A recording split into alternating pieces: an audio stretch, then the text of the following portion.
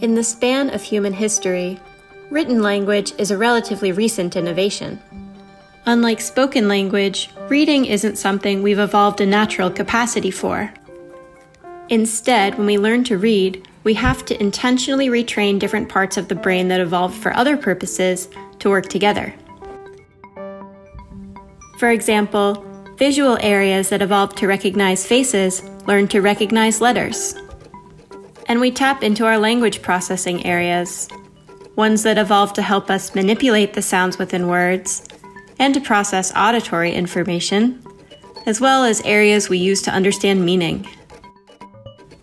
These brain regions communicate through white matter pathways that form and strengthen as we learn to read. This is a long process that begins as soon as a child starts learning language. After mastering language, we need to learn phonics to map the sounds of language onto groups of letters. With practice, those growing neural pathways help us to more automatically connect letters with sounds, words, and meaning until reading feels almost natural. Researchers are exploring how differences in these pathways and the brain areas that they connect might relate to learning disabilities like dyslexia. Their insights are paving the way for earlier and more effective interventions to ensure that all kids have a chance to learn how to read.